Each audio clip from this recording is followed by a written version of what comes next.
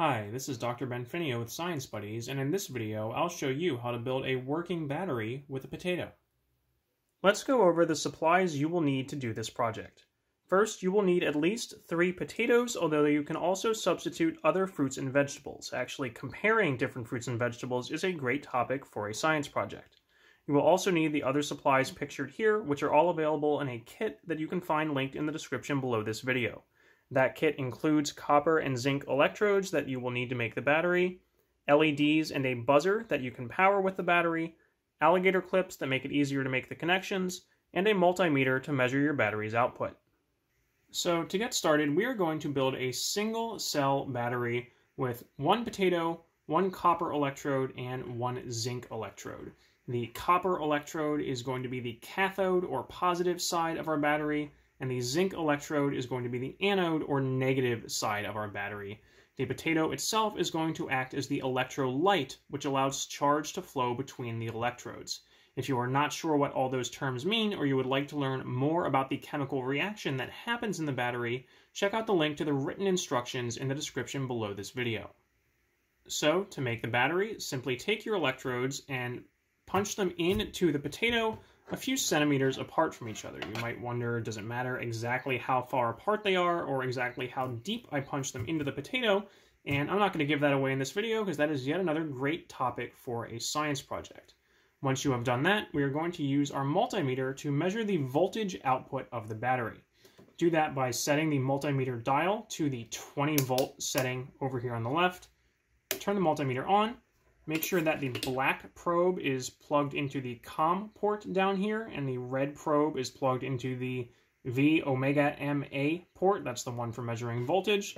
And then take your probes and touch the red or positive probe to the copper, which again is the positive side of our battery, and the black or negative probe to the zinc electrode, and you will see the voltage reading on your battery screen. In this case, I'm getting about 0.9 volts. Now, it's not a huge deal if you get those reversed. You're not going to break anything, but you will see a negative sign on your voltage reading since you have positive and negative backwards. This is where the alligator clips come in very handy because it can be nice to have your hands free when working with the multimeter. So you can connect these. Again, we usually use red for positive. You want to keep your color coding consistent. And use them to connect an electrode to the probe from the multimeter and then that's going to leave your hands free to do other things. So I'm going to use the green one here to connect to the black probe. It's okay if your kit doesn't come with a black alligator clip. It's just make sure you use red for positive and then remember that you're using green or black for negative. And again, now I have my hands free to work with other things and change settings on the multimeter, set up my next potato, etc. Speaking of changing settings on your multimeter, you may also want to use your multimeter to measure the current produced by your potato battery.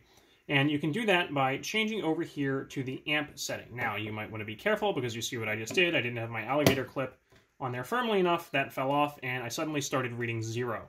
So if you are all of a sudden getting a zero on your multimeter, double check all of your connections and make sure one of your alligator clips did not come loose. Anyway, you may want to measure current using your multimeter, which you can do over here with the amp settings. And you have to be careful with these settings because you need to get them in the right range. If you select a range that is too low, for example, right now I am in the 200 microamp range, your screen will just read a 1 like this. If you go up a notch, for example, now I'm in the 2000 microamp range, I see that my potato is producing a little less than 500 microamps of current. If I keep going up to a range that is too high, I'm going to lose some accuracy, and I'm only going to get about one decimal place on the reading here. So you want to play with the range until you get a reading that is appropriate based on the range you have selected. Now, that is a real crash course in using a multimeter. If you would like to learn more about using a multimeter, again, we have a link to a much more extensive multimeter tutorial in the description below this video. So, just taking readings with the multimeter isn't that exciting. We want to see if our battery can power something like the LED. So to do that, we're going to disconnect the multimeter, but leave the alligator clips attached to the electrodes. And here is where we need to pay close attention to the polarity, or which side is positive and which side is negative, of both our battery and our LED. So remember that for the battery, the copper is the positive side and the zinc is the negative side.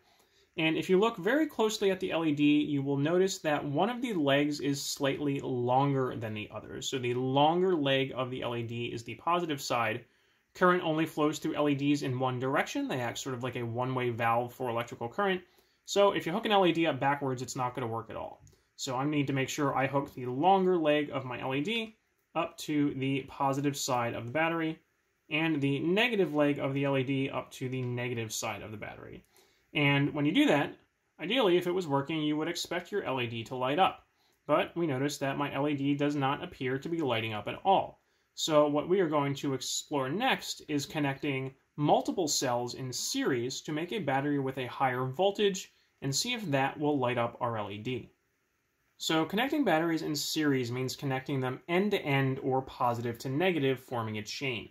So I have a second potato here, again with zinc and copper electrodes, and I'm going to connect the copper or positive electrode of this one to the zinc or negative electrode of this one and I am then going to make my external connections to the two outer electrodes. So again, I'm going to connect a green alligator clip to my zinc electrode over here, and a red alligator clip to my copper electrode over here, and get my multimeter back and take a voltage reading, and I should now see a higher voltage because voltages add in series. So when I connect two potato batteries in series, I expect the voltage to be about double of what I got with a single potato battery, and I see that's true. I am now getting a little less than 2 volts instead of a little less than 1 volt. So I'm going to disconnect my multimeter and now see if that is enough to light up my LED. Again, being careful to remember which side is the longer leg and connect that to the positive side of the battery. Connect the other end to the negative side. And it's kind of faint, you can't see it very well from the side, but if you look at the LED from the top, I can see that the LED is now lighting up. I do have enough voltage to light the LED. You can try the same thing with the buzzer, which has two wires, again, red for positive and black for negative.